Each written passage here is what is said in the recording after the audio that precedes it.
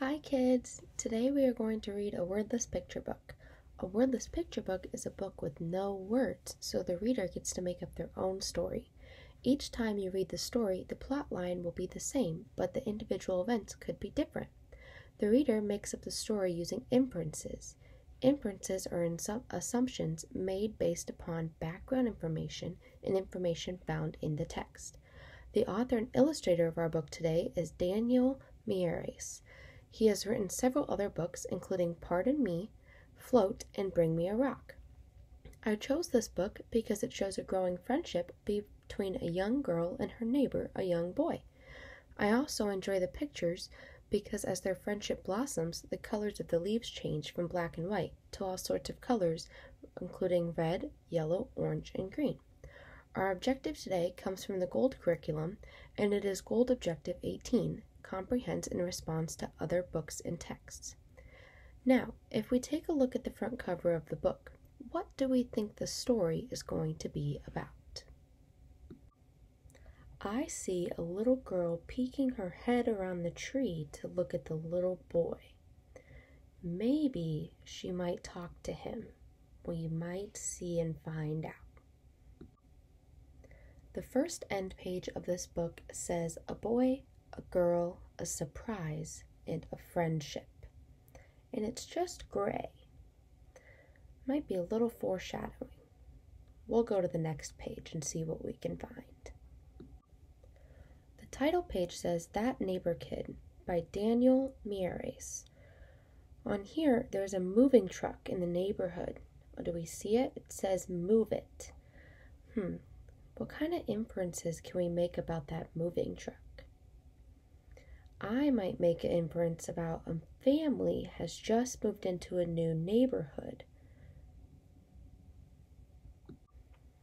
On this page, we see the little boy sitting by the tree reading a book, and the moving truck is really zoomed in, so all we see is the M on it.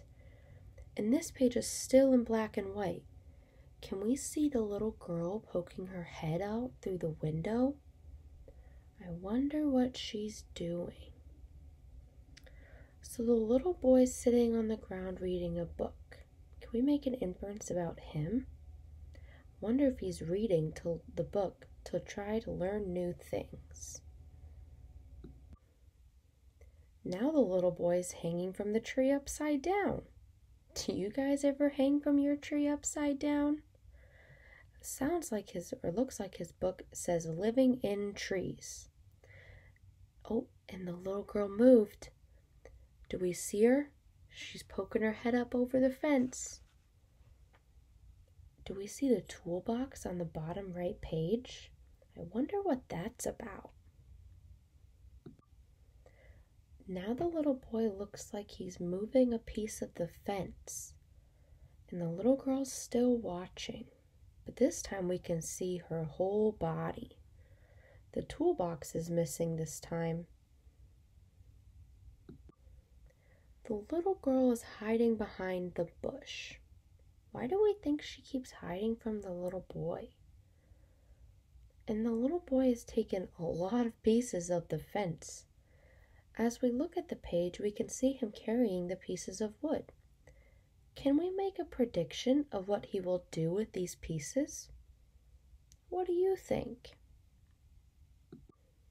Now the little boy is climbing a tree, I think. He has a hammer in his back pocket and a bucket of nails. The little girl is still watching him, hiding behind the tree.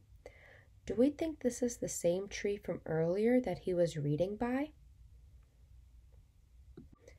He's gone further up the tree now, so all we can see is his bucket. But uh oh, he dropped his hammer. Now what is he gonna do? The little girl looks surprised. What is she gonna do? Is this big hole in the fence? Is that where the wood was? Did the little boy make that hole? Now the little girl is climbing the ladder and she has the hammer in her hand. I think we can make a couple of inferences on this page. The little girl might help build something.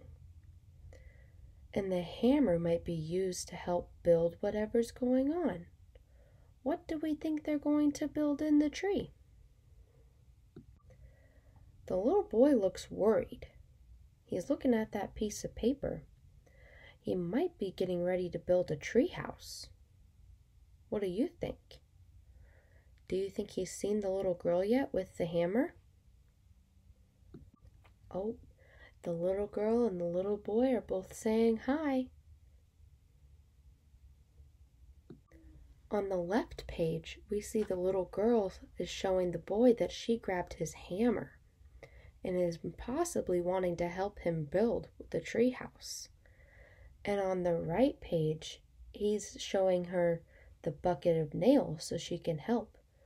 Do we notice the leaves are starting to change colors? They're yellow and orange, whereas before on the left they were all black and white.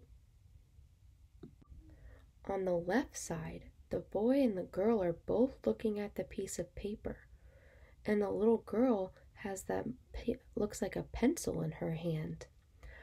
Looks like they are planning to build the treehouse together, and more and more leaves are changing colors. In the top picture on the right side, the little boy is sawing a piece of wood as the girl holds it for him. And on the top right picture, they're putting the piece of wood to, uh, together so they can build the floor. And in the bottom picture on the right side, they're nailing a piece of wood so to build the wall. Looks like they're making a pretty good team. And the leaves keep changing colors. What do we think that symbolizes? On this page, the children are laying down while on the floor that they built. They seem to be happy with the progress they are making with their treehouse. The little boy has a leaf in his hand, and the little girl is smiling at the boy. You can see their map of what their thought process was. Looks like they may have crossed out a number or two. Look, this page is more colorful than the other ones. Since the children are happy, can you make a connection? What is an activity you like to do at home with your neighborhood friends that makes you happy? Oh no, the kids are getting messy. The little girl is flinging paint at the boy. My inference is the little boy will be covered in blue paint from the little girl's paintbrush. This page has a lot of yellow on it. Looks like they're happier.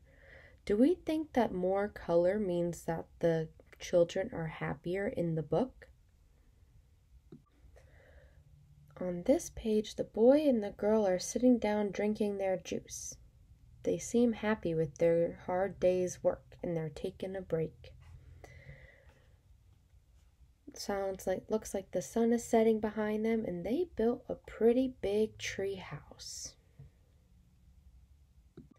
Now it is nighttime and the outside is dark. The only light can be seen is from their bedroom windows. The boy and the girl are both waving to each other from their separate houses. Looks like they are both saying good night. That is the end of our story. Now that we have finished the book, That Neighbor Kid, I would like you to compare it to Float, another book by Daniel Miyares. In Float, it's about another young boy where he made a boat out of a piece of paper and it floated away from him. Whereas in that neighborhood kid, it's about a young boy and a young girl, and they built a treehouse. Both books used color in special places, and they both had boys that were making something. I would like you to add one more thing to each part of the compare and contrast Venn diagram. After that, I have one more Venn diagram for you to do. Finally, I would like you to compare and contrast wordless picture books by different authors. For mine, I did That Neighborhood that Neighbor Kid by Daniel Miyares and Dandelion's Dream by Yoko Tanaka. And that neighborhood, that neighbor kid, it's about a young boy and a young girl, and together they built a treehouse. In Dandelion's Dream, it's about a lion on a journey and he is following his dream. Both of them use color for special effects, and the main characters both look happy in the end. I would like you to add one more thing to each part of the Venn diagram so you can see the different ways that authors write wordless picture books. That is the end of our lesson today. Thank you for listening.